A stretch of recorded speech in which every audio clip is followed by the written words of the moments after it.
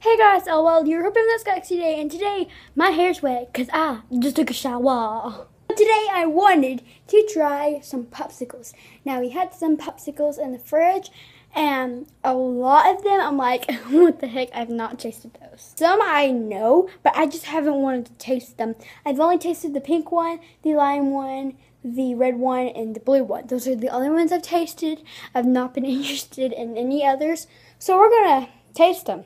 Let's do this. Yeah. So the first one is orange. I really haven't been interested in doing orange because it doesn't seem like it would taste good. So I'm just going to taste it. If I can get it, I'm getting it up there. Okay. Get up there. See, it doesn't even want me to taste it. It knows it's going to taste bad. Got it a little bit out. And I'm just, oh, this is cold. I'm just going to try this.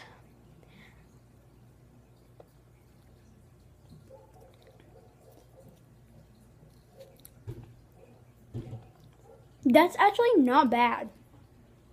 I was expecting it to have like a real strong orange taste, but it doesn't. Actually really like this one. I thought it was to taste like orange, but I like these popsicles like these because they don't have the the flavor is not that strong and the flavors are awesome. And I want to say this is orange but then I kind of don't. But you are going in my belly. Okay we have this one which it's like purple. And if it is the grape flavor I haven't tasted that either. And I don't like grape things. It looks like purple and white. So I'm afraid it's gonna be like coconut we're gonna open this. Ah! uh, we're gonna open this. hey, I've got it out a little bit. I'm honestly scared.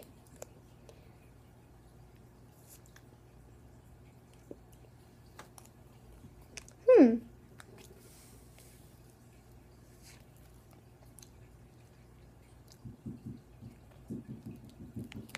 I don't know if I like it or not. Here.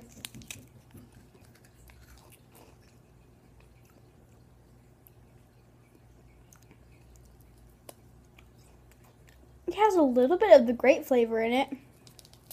I'm so confused by this flavor.